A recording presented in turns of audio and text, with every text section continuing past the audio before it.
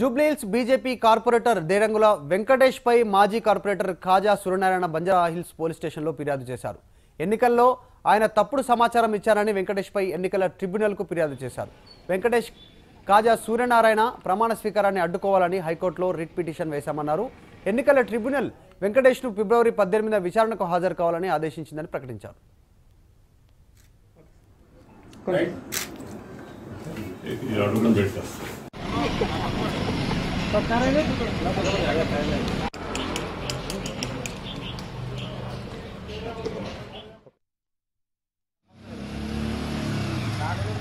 Banjara Hills police స్టేషన్లో నా మీద కార్పొరేట్ వెహికల్స్ నా వెళ్ళాట వెంకటేష్ గారి మీద కంప్లైంట్ ఇవ్వడానికి ఇక్కడికి వచ్చాము నేనంటే ఆయన అన్ని కూడా తప్పుడు సమాచారాలు తప్పుడు అప్డేట్లు ఇచ్చాడు.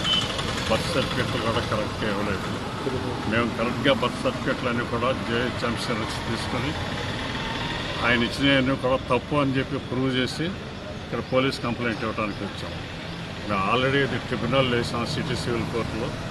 ఆ తర్వాత అక్కడ లేట్ అవుతామని చెప్పి ఆయన ప్రమాణ స్వీకారం ఆఫ్ చేయమని చెప్పి హైకోర్టుకి వెళ్ళాం.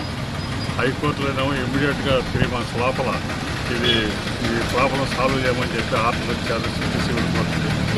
సిటీ సివిల్ కోర్టులో రెండు మూడు నెలలు అయితే డెఫినెట్గా ఇది తేలిపోతుంది డెఫినెట్గా మళ్ళీ మేము గెలుస్తున్నాం.